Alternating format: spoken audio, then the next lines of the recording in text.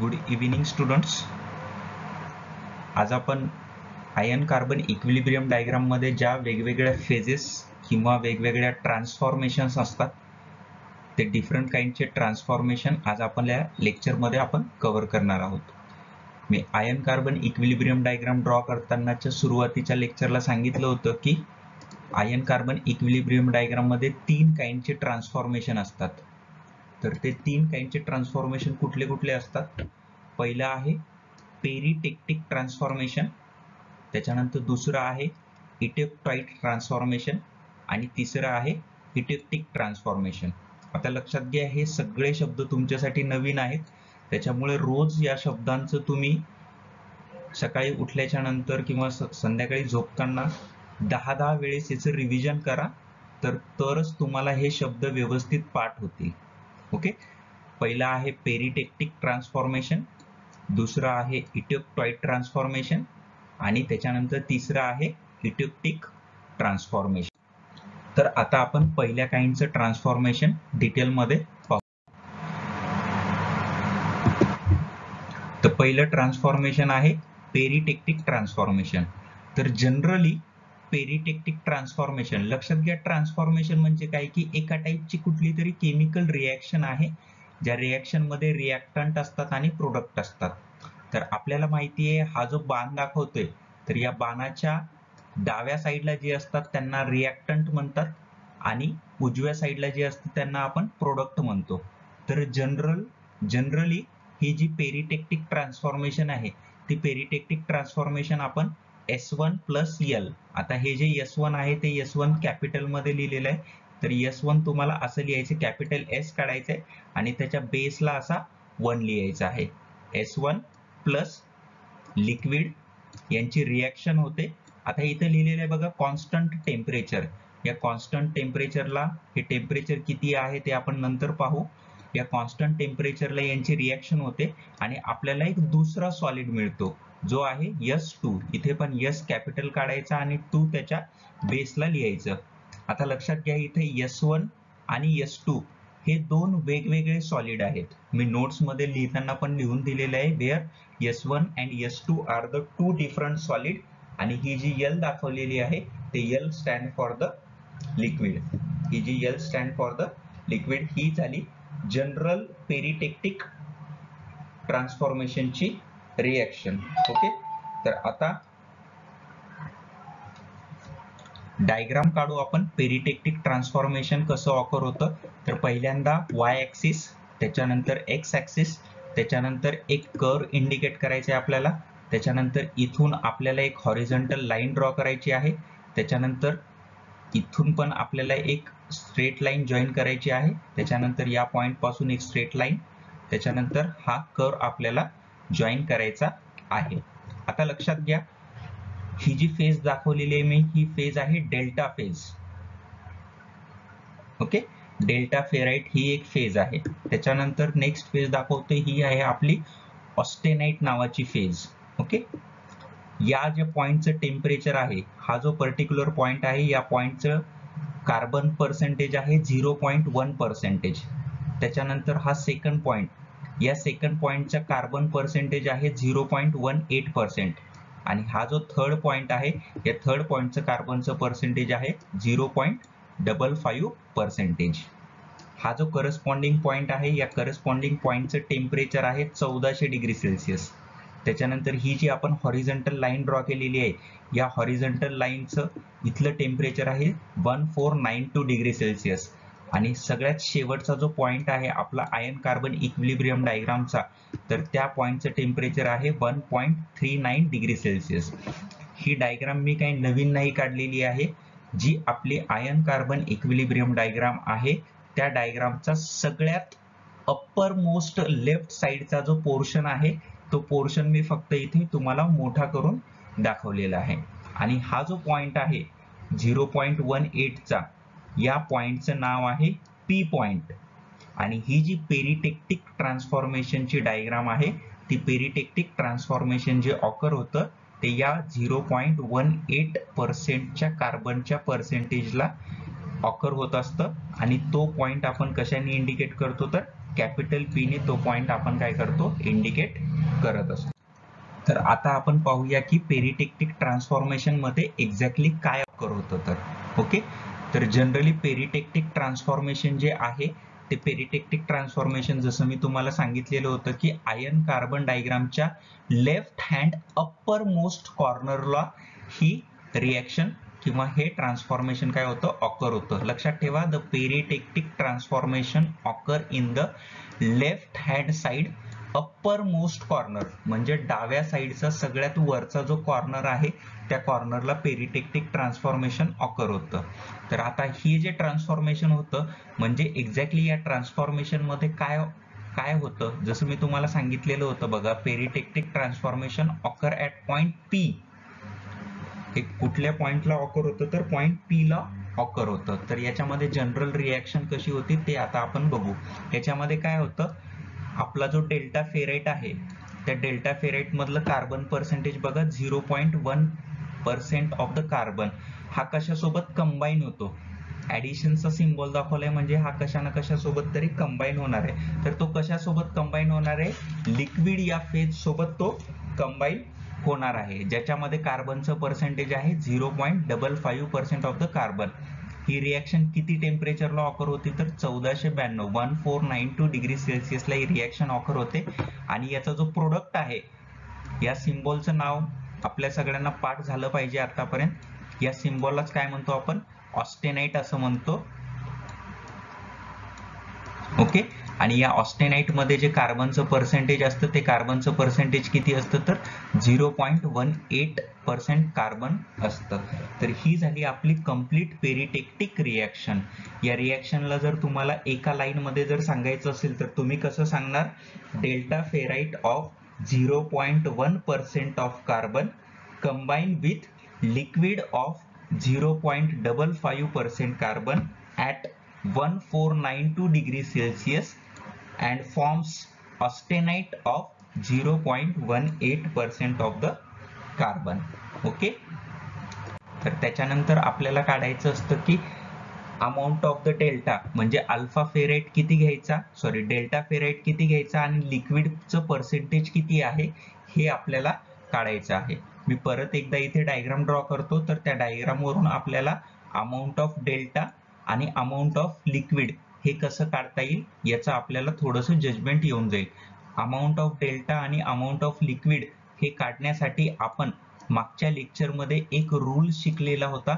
त्या रूलचं नाव आहे labour rule तर या रूलचं यूज करून आपल्याला अमाऊंट ऑफ डेल्टा आणि अमाऊंट ऑफ लिक्विड हे काढता येतं. तर मी इथे परत एकदा पेरिटेक्टिक ट्रान्सफॉर्मेशनची डायग्राम ड्रॉ करतो.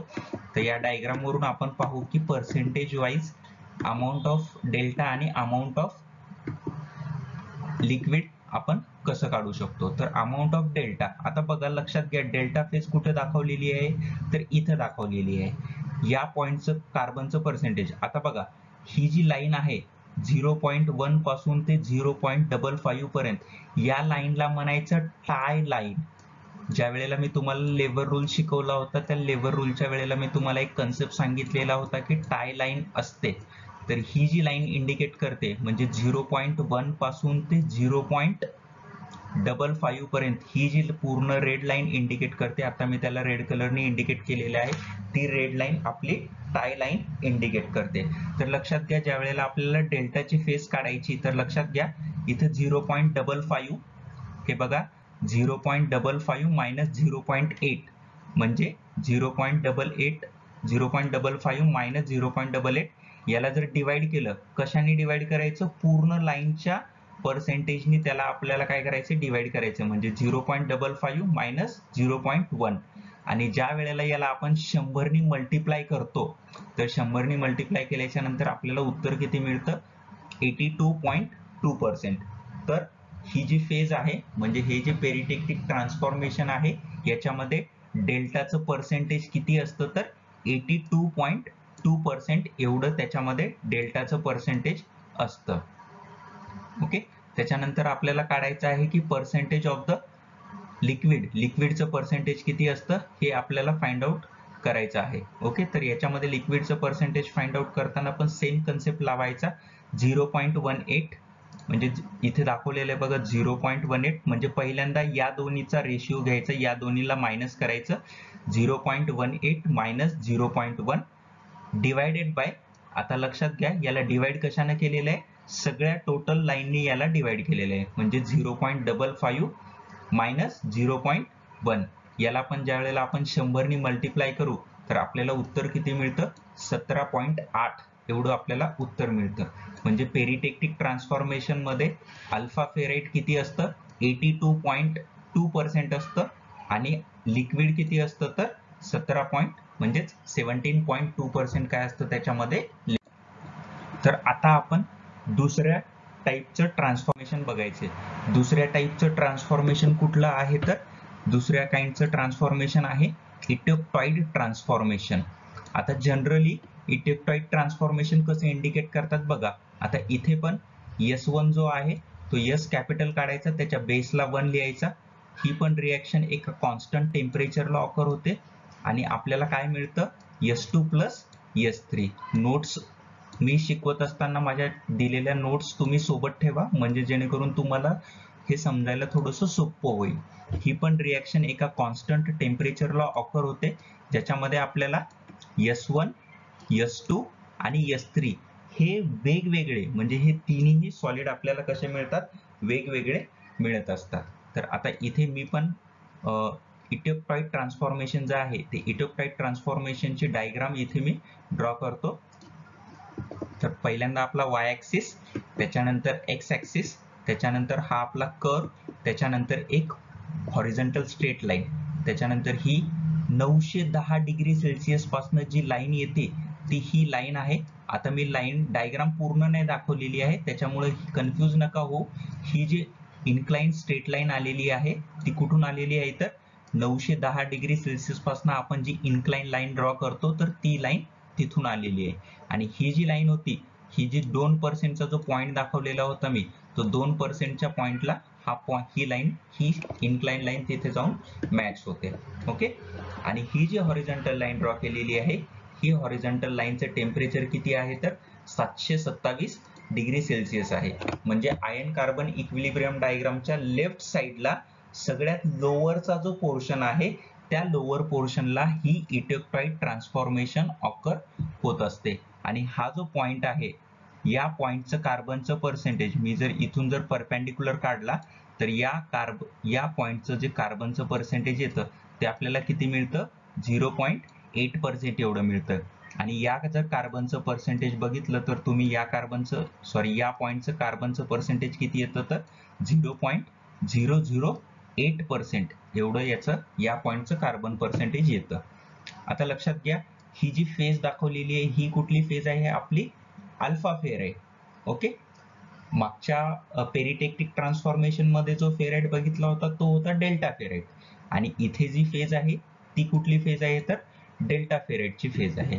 ओके याच्या वरती जो फेज आहे ती कुठली फेज आहे? आपली ऑस्टेनाइट आणि हे जे मिक्सचर आहे delta ferrite plus F E three C या मिक्सचरलाच आपण काय म्हणतो तर परलाईट असं नाव मी तुम्हाला सांगितलेलं होतं. त्याच्यामुळे मी आयन कार्बन इक्विलिब्रियम डायग्राममध्ये ज्या ज्या वेगवेगळ्या फेजेस असतात त्या फेजेस तुम्ही व्यवस्थित बघा. म्हणजे तुम्हाला कळून जाईल की हे ट्रान्सफॉर्मेशन व्यवस्थित पद्धतीने तुम्हाला समजतील. आता आपण ही जे इटेक्टाईट ट्रान्सफॉर्मेशन आहे हे इटेक्टाईड ट्रान्सफॉर्मेशनची रिॲक्शन किंवा ट्रान्सफॉर्मेशन कसं ऑकर होतं ते आपण बघू. जसं मी तुम्हाला सांगितलेलं आहे की इटेक्टाईड ट्रान्सफॉर्मेशन किंवा इटेक्टाईड रिजन कुठे ऑफर होतो? Lower left hand side of the iron carbon equilibrium diagram इथे आयसी लिहिले म्हणजे ती आयन कार्बन इक्विलिब्रियम डायग्राम आहे. तर कुठे ऑफर होतं? लोअर साइडला म्हणजे खालच्या लेफ्ट हँड साइडला ही रिॲक्शन ऑफर होते. आणि कुठल्या पॉइंटला ऑफर होते तर? ई या पॉइंटला ही रिॲक्शन ऑफर होत असते. आता याच्यामध्ये बघा कसं होतं? हा जो ऑस्टेनाइट आहे या ऑस्टेनाइटमध्ये कार्बनचं percentage zero point one eight percent असतं. Sorry zero point eight percent असतं. आणि ही जी रिॲक्शन असते ही रिॲक्शन किती टेम्परेचरला ऑकर होते तर सातशे सत्तावीस डिग्री सेल्सिअसला ही रिॲक्शन काय होते? ऑकर होते. आणि आपल्याला दोन प्रोडक्ट मिळतात. म्हणजे बघा आपण जनरलमध्ये काय लिहिलं होतं? S one at constant temperature S two plus S three आता इथे एस वन म्हणून काय कन्सिडर करायचं? आहे आपल्याला ऑस्टेनाइट कन्सिडर करायचं आहे. एस टू म्हणून काय कन्सिडर करायचं आहे? अल्फा फेराइट कन्सिडर करायचं आहे. आणि एस थ्री म्हणून काय कन्सिडर करायचं आपल्याला? F E three C F E three C म्हणजे कुठली फेज आहे आपली? सिमेंटाइट मी तुम्हाला सांगितलेलं होतं कॅपिटल एफ काढायचा स्मॉल ई e काढायचा त्याच्या बेसला तीन लिहायचं आणि कॅपिटल सी काढायचं. ही जी फेज असते या फेजचं नाव काय आहे? तर सिमेंटाइट फेज असं म्हणतात. आता जर इटेक्टाईट ट्रान्सफॉर्मेशन जर तुम्हाला एका लाईन मध्ये जर सांगायची असेल तर एका लाईन मध्ये कसं सांगणार तुम्ही?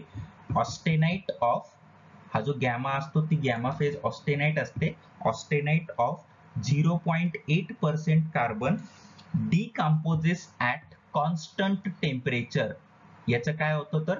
डिकम्पोजिशन होतं. एका कॉन्स्टंट टेम्परेचरला डिकम्पोजिशन होतं. And forms the mixture of आणि कशा कशाचं मिक्सचर मिळतं आपल्याला?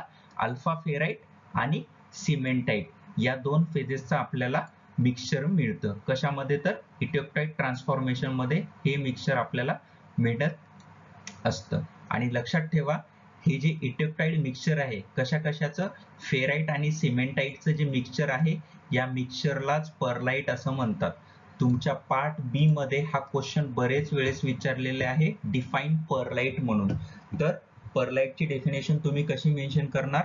The eutectoid mixture of the ferrite and cementite is called as a pearlite असं त्याला म्हणतात.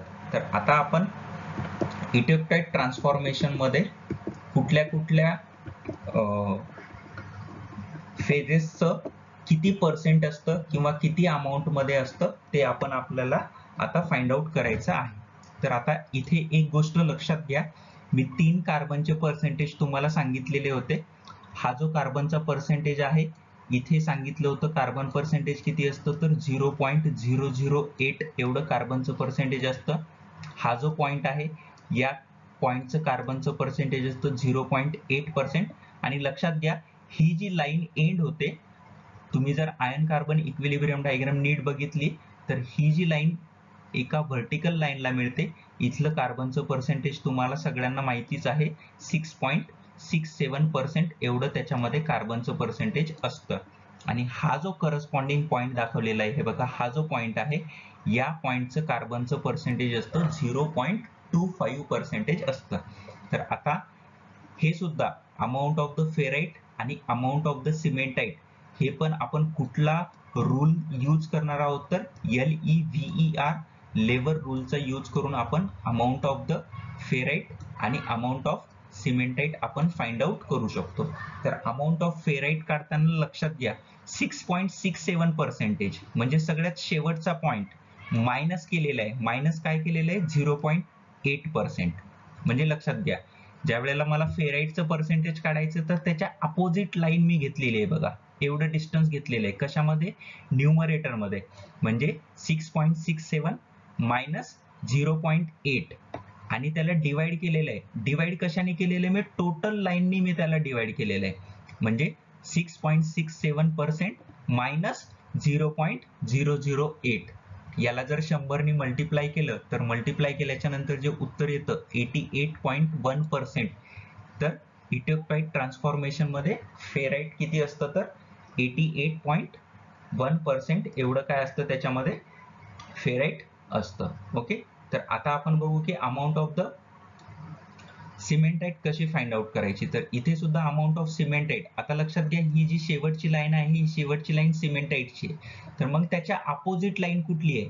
तर त्याच्या अपोजिट लाईन ही लाईन इंडिकेट करते.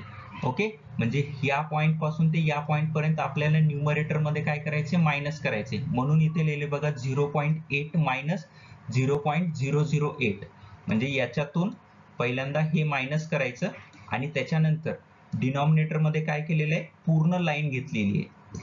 म्हणजे six point six seven percent minus zero point zero zero eight ज्या वेळेला आपण याला शंभरनी मल्टिप्लाय करतो तर जे पर्सेंटेज मिळतं ते किती मिळतं आपल्याला?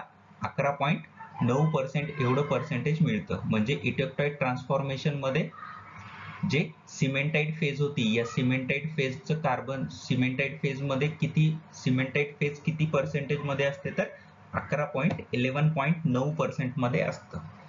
आता आपण लेक्चरच्या थर्ड पॉईंटकडे वळू. थर्ड ट्रान्सफॉर्मेशन जे आहे ते थर्ड ट्रान्सफॉर्मेशन आपलं आहे इटियोप्टिक ट्रान्सफॉर्मेशन ओके थर्ड काइंडचं ट्रान्सफॉर्मेशन कुठलं आहे तर इटियोप्टिक ट्रान्सफॉर्मेशन आहे. इथे पण लक्षात घ्या. इथे लक्षात घ्या जनरली कसं इटेक्टिक ट्रान्सफॉर्मेशनला जनरली कसं डिनोट करतो? इथे एक लिक्विड असतं. त्या लिक्विडचं कॉन्स्टंट टेम्परेचरला डिकम्पोजिशन होतं आणि आपल्याला दोन सॉलिड मिळतात.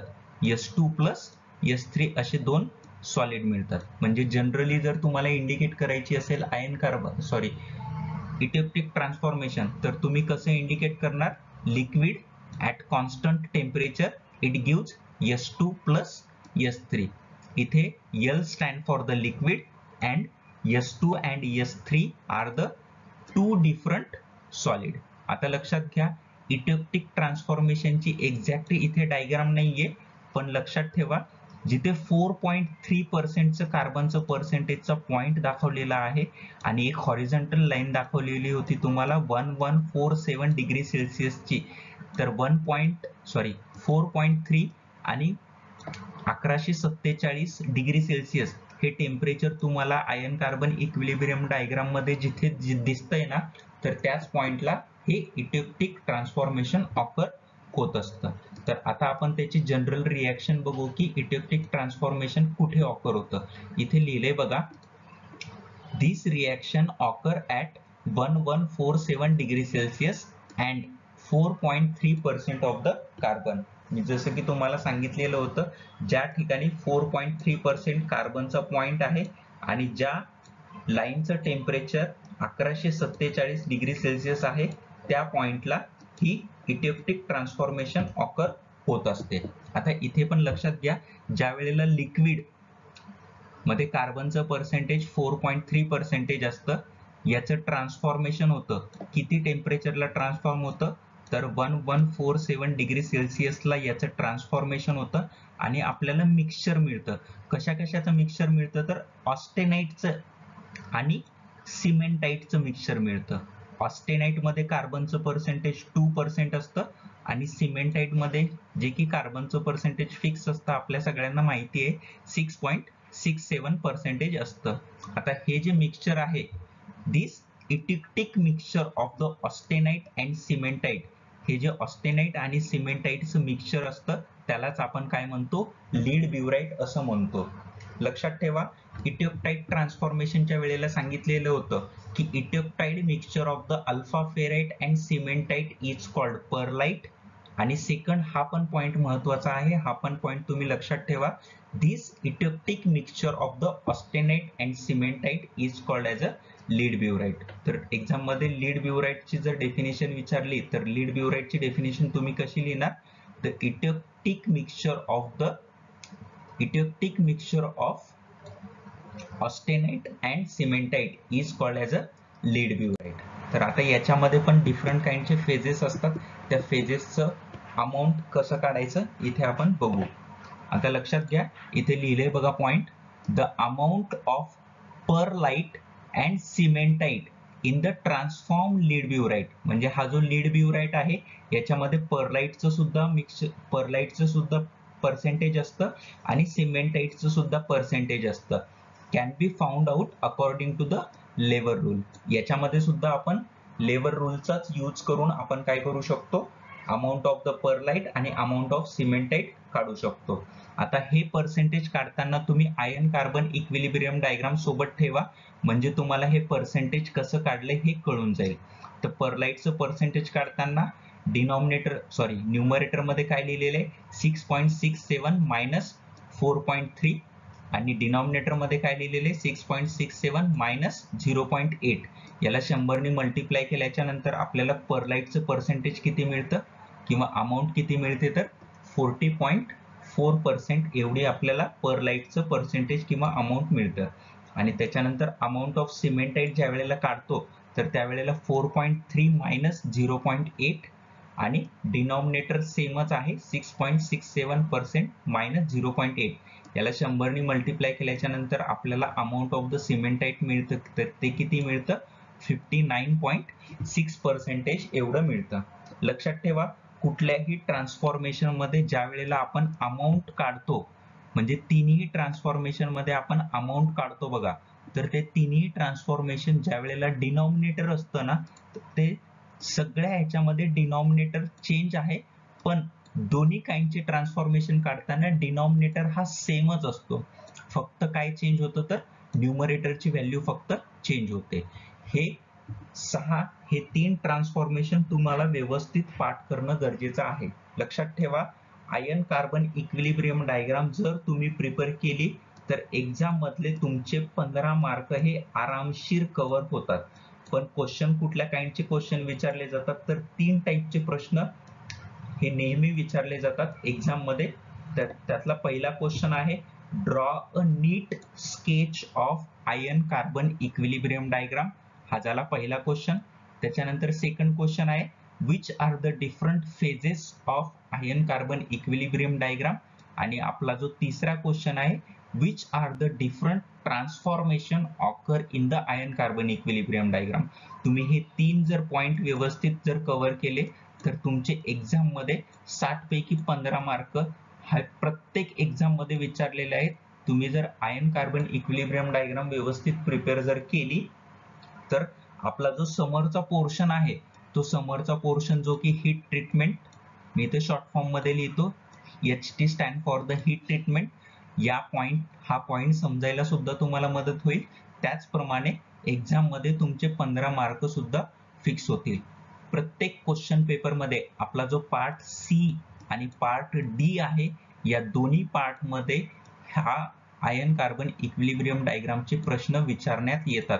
त्याच्यामुळे हा जो पॉइंट आहे आयन कार्बन इक्विलिब्रियम डायग्रामचा पॉइंट आहे. आज आपल्या तीन चार लेक्चरमध्ये कव्हर झालेला आहे. हा पॉइंट तुम्ही व्यवस्थित पाठ करून ठेवा किंवा व्यवस्थित लक्षात करून ठेवा. आणि हे लवकरात लवकर विसरतं त्याच्यामुळे याला रोज रिव्हिजन देणं सुद्धा खूप गरजेचं आहे. ओके नेक्स्ट लेक्चरमध्ये आपण हीट ट्रीटमेंट टॉपिक सुरू करू.